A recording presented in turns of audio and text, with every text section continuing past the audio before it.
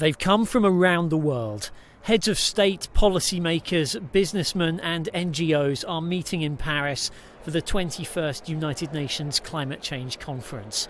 The goal to reach agreement on international climate legislation that can be implemented by 2020.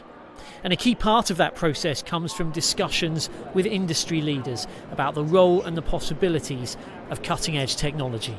ABB's role is basically threefold. On the one hand, we need to make sure we become an ambassador and make everybody aware of the concerning situation that we have around us. Secondly, we need to make sure we enable our customers and all our stakeholders out there through the application of our technology to really make a positive impact. And thirdly, we need to live what we are saying. So we will reduce our own emission standards. We will work on, on the water consumption of ABB to also be a good citizen and do what we tell others they should use.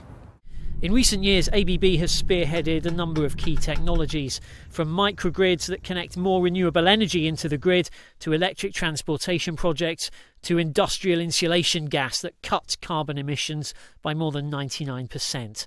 They're convinced that environmental responsibility isn't just a moral imperative, it's also good business sense.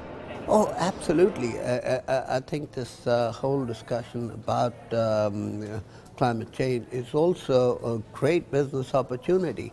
Uh, this isn't about uh, doing less business, it's about uh, changing business where there are new opportunities coming up. So uh, it, is, it is really exciting.